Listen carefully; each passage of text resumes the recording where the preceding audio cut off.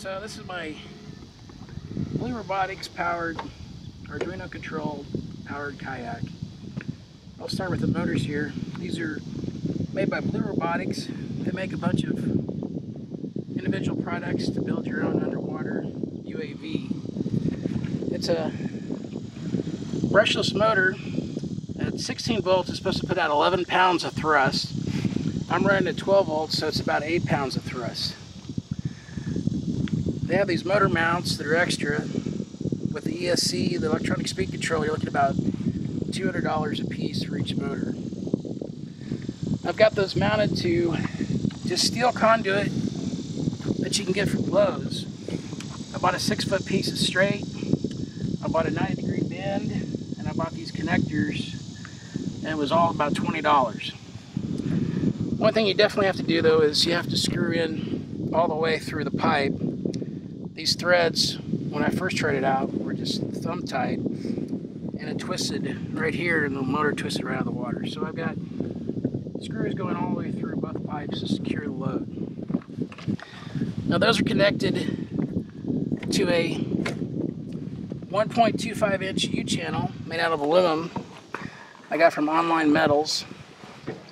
It just pivots here at the top with a AN3 bolt. It's a 3 16 inch bolt. So when you lower it down, you just lower it like this. It goes into this channel. I've got a magnet here that snaps into place to keep it down.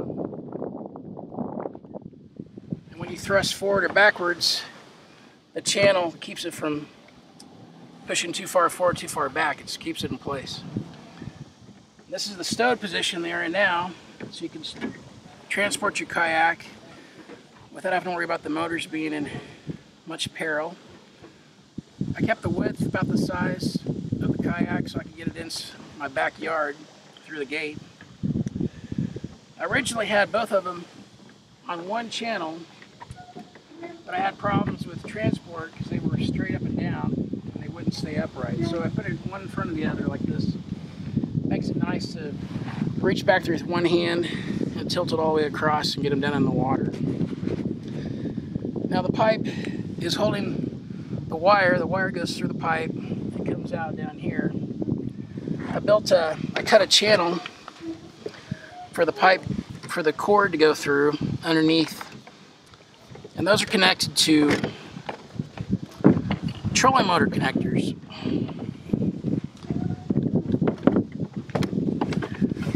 They're way too big for this application, but I bought them for about 20 bucks, so I'm going to use them. I'm going to replace them later with something smaller. It's Weaverkill. They're about 30 amp. But once they connect into the, the box, they are secure. So that leads us to our box. This box I got from Academy. It's an ammo box. It was only about $20. I like the best thing about it is it pulls over the side so you can tilt it open so here's electronics powering the kayak. I've got two wheelchair batteries that I already had, so I'm using these. I really would like to go for one battery eventually. They're both 27 amp hour piece. I've got 54 amp hours worth of capacity. They're wired in parallel. So you can see the wires come here. They go up to a 50 amp circuit breaker. So if anything goes awry, this will pop. Then it's wired into this kill switch. This can carry 130 amps. I'm really glad I found this because all the kill switches I found were 5 amp, so I'd have to run a solenoid and a kill switch somewhere. This has got both in one. All you do is you put this pin and it powers it right up. So following the power down, we go to our battery bus. This is, I found at Cabela's for about uh, $20. It's just got a positive and negative bus. Both ESCs, electronic speed control, is right here on either side, left and right. I've got those wired up to the trolling motor connectors. Again, they're way overkill on the wire size. But I'm really impressed with these ESCs. They have not overheated whatsoever. I've been out for two hours, half hours, off and on running. I've run for 30 minutes continuous, and these have never overheated or cut out. Now these signal wires go into the control unit. This is a Arduino. It's called a Boarduino, made by Adafruit. It's just a streamlined version of what a normal Arduino would be. It's got a power supply, it's got the chip, and it's got the wires coming out the sides that I've soldered in directly to the board.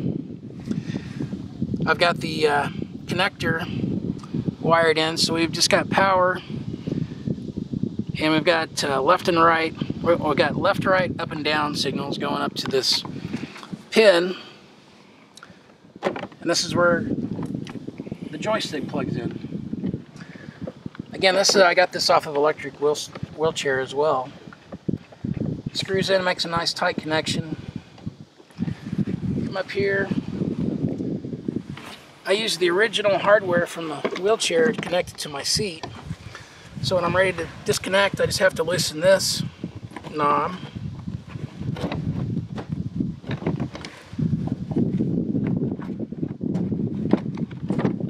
It'll come right off. All I've got hooked up right now is the joystick. I've got a speed control and some other switches that I'm going to work up. LEDs, bar graph, so I'll be able to keep track of the battery length. But this is just the uh, initial testing, make sure that the, the system was working correctly. So once you power this up, it's very simple. I just got this on top in case there's any water and also keeps all the wires connected nicely. Snaps tight as a watertight seal. Once you put the motors in the wire, you just you connect up the power and you're going to hear the motors initialize. Now that's motors are initialized, it's ready to go. Just with the movement of the joystick, our motors will move back and forth. You can't run them too long out of the water because the bearings will burn up. So that's the uh, walkthrough of the Arduino T200 powered kayak.